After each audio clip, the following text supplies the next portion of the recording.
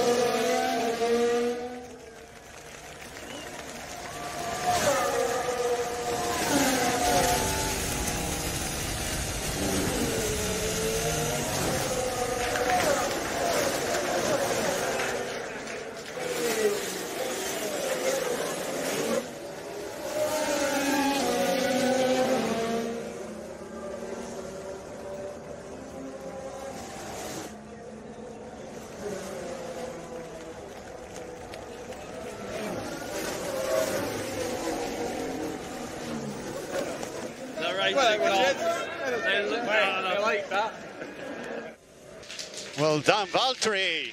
You won the 2019 Australian Grand Prix. Great job. Bravo. How about that? Yeah! Thank you, guys.